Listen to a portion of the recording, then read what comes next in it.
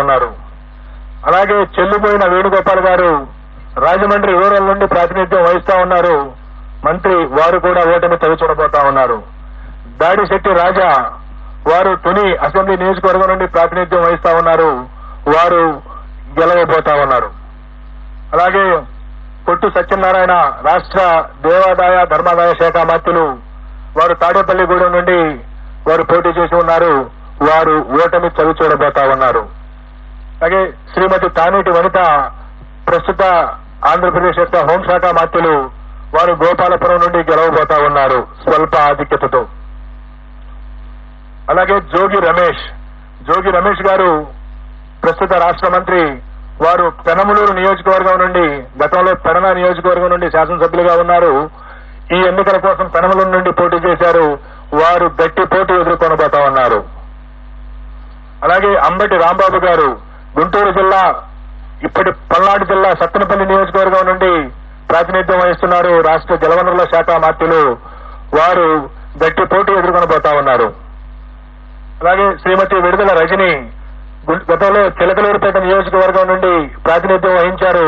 ప్రస్తుతం గుంటూరు పశ్చిమ నియోజకవర్గం నుండి పోటీ చేస్తున్నారు. వారు గట్టి పోటీ ఎదుర్కొంటున్నారు. స్వల్ప తేడాతో ఓటమి చవి చూసే అవకాశం ఉంది. శ్రీ మేరుగ నాగార్జున గారు గతంలో గుంటూరు జిల్లా వేమూరు నియోజకవర్గం నుండి ప్రాతినిధ్యం వహించారు. ప్రస్తుతం ప్రకాశం జిల్లా సంతనూతలపాడు నుండి పోటీ చేస్తున్నారు. వారు గట్టి పోటీ ఎదుర్కొంటున్నారు.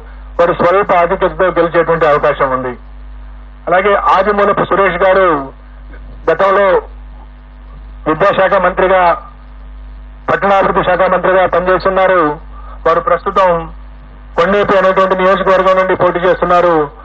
వారు స్వల్ప ఓట్ల ఆధిక్యత స్వల్ప ఓట్ల తేడాతో ఓటమి చవి చూసే అవకాశం ఉంది. అలాగే కాకాని గోవర్ధన్ రెడ్డి గారు ప్రస్తుత రాష్ట్ర వ్యవసాయ శాఖ మార్చులు సర్వేపల్లి నుండి పోటీ చేస్తా ఉన్నారు. వారు గెలిచేటువంటి అవకాశం ఉన్నది. అలాగే బుగ్గన రాజేంద్ర రెడ్డి గారు బుగ్గన రాజేంద్రనాథ్ రెడ్డి గారు ఆర్థిక శాఖ మంత్రులు వారు కర్నూలు జిల్లా డోన్ నుండి ప్రాతినిధ్యం వహిస్తా ఉన్నారు. వారు గెలిచే అవకాశం ఉన్నది. అలాగే కె. అంజద్ బాషా గారు రాష్ట్ర ఉప ముఖ్యమంత్రి కడప అసెంబ్లీ నియోజకవర్గం నుండి పోటీ చేస్తా ఉన్నారు. వారు ఈ ఎన్నికల్లో స్వల్ప ఆధిక్యతతో గెలిచే అవకాశం ఉన్నది. శ్రీ పెద్దిరెడ్డి రామచంద్రారెడ్డి గారు సీనియర్ మంత్రివర్యులు పొంగనూరు అసెంబ్లీ స్థానం నుండి ప్రాతినిధ్యం వహిస్తా ఉన్నారు. వారు ఈ ఎన్నికల్లో భారీ మెజార్టీతో గెలిచేటువంటి అవకాశం ఉన్నది. అలాగే శ్రీమతి ఉషశ్రీ చరణ్ అనంతపురం జిల్లా పెనుగొండ నుండి పోటీ చేస్తా ఉన్నారు. వారు అతి స్వల్ప అతి స్వల్ప తెరతో ఓటమి చవి చూసేటువంటి అవకాశం ఉన్నది.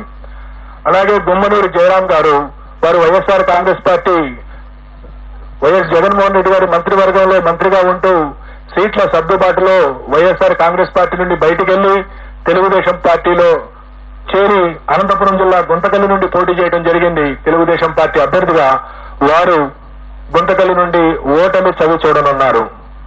అలాగే శ్రీమతి ఆర్కే రోజా ప్రముఖ సినీ అండ్ మంత్రివర్యురాలు వారు చిత్తూరు జిల్లా నగరి నియోజకవర్గం నుండి ఓటమి చవి చూడబోతా ఉన్నారు.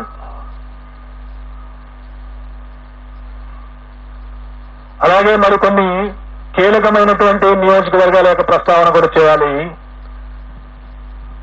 అచ్చెన్నాయుడు గారు తెలుగుదేశం పార్టీ యొక్క రాష్ట్ర అధ్యక్షులు ఆంధ్రప్రదేశ్ అధ్యక్షులు వారు టెక్కల నియోజకవర్గం నుండి స్వల్ప ఆధిక్యతతో విజయం సాధించబోతా ఉన్నారు. అలాగే వల్లభనేని వంశీ గత రెండు సంవత్సరాలుగా కొన్ని వివాదాల కారణంగా ప్రముఖంగా వార్తల్లో వ్యక్తిన వ్యక్తి గన్నవరం నుండి శాసనసభ్యుడిగా ప్రాతినిధ్యం వహిస్తా ఉన్నారు. ఈసారి కూడా వల్లభనేని వంశీ గన్నవరం నుండి గెలుపొందనున్నారు అలాగే తమ్మినేని సీతారాం గారు ఆముదాల వలస నుండి ప్రాతినిధ్యం వహిస్తా ఉన్నారు. వారు ఆంధ్రప్రదేశ్ శాసనసభ స్పీకర్గా ఉన్నారు. వారు కొద్ది ఓట్ల తేడాతో ఓటమి చవి చూసేటువంటి అవకాశం ఉన్నది. అలాగే రఘురామకృష్ణరాజు గారు కనుమూరి రఘురామకృష్ణరాజు గారు ప్రస్తుతం నర్సాపురం నుండి ఎంపీగా ఉంటూ ఇటీవల తెలుగుదేశం పార్టీలో చేరి ఉండి నుండి శాసనసభకు పోటీ చేయడం జరిగింది. వారు ఉండి నుండి గెలుపొందబోతా ఉన్నారు. అలాగే బూడి ముత్యాల నాయుడు గారు వారు ప్రస్తుతం ఆంధ్రప్రదేశ్ ఉప ముఖ్యమంత్రిగా ఉన్నారు. వారు అనకాపల్లి నుండి గతంలో వారు మాడుగుల నుండి శాసనసభ్యులుగా ఉన్నారు. ఈ ఎన్నికల్లో అనకాపల్లి నుండి పార్లమెంటు సభ్యులుగా పోటీ చేస్తున్నారు. వారు భారతీయ జనతా పార్టీ అభ్యర్థి సీఎం రమేష్ చేతిలో ఓటమి చవిచూడనున్నారు అలాగే వైఎస్ఆర్ కాంగ్రెస్ పార్టీ యొక్క ముఖ్య నాయకులు శ్రీ విజయసాయి రెడ్డి గారు వారు నెల్లూరు పార్లమెంటు నుండి పోటీ చేయడం జరిగింది. వారు నెల్లూరు పార్లమెంటు నుండి ఓటమి చవిచూడబోతా ఉన్నారు. రాష్ట్రంలో హోరాహోరీ పోటీ జరిగినటువంటి పార్లమెంటులో అమలాపురం పార్లమెంటు రాజమండ్రి పార్లమెంటు నర్సాపురం నర్సరావుపేట పార్లమెంటులో ఫలితం కేవలం రెండు లేదా మూడు శాతానికి లోబడి ఉండబోతా ఉంది.